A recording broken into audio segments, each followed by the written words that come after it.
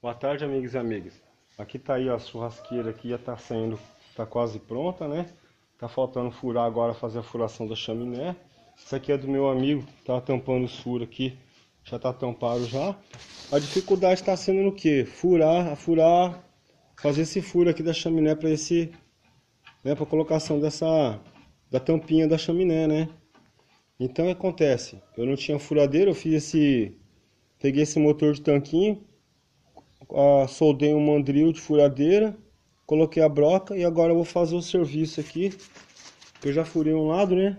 Vou mostrar aqui para vocês como é que é feito, ó.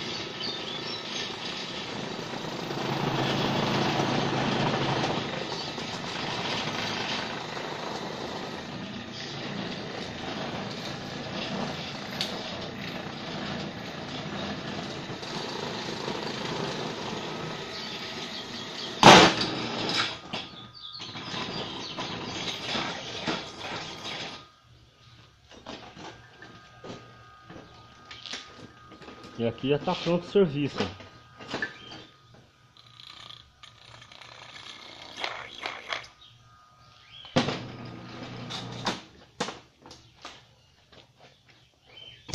Tá aqui pronta a peça. Tá aqui pronta a peça. Agora ela vai ser colocada aqui, vai ser soldada aqui. Vai ser passado a pecinha que eu tava precisando, né? Aqui, ó. Já vai estar tá entrando. Porque tem que vazar lá, né? Do outro lado.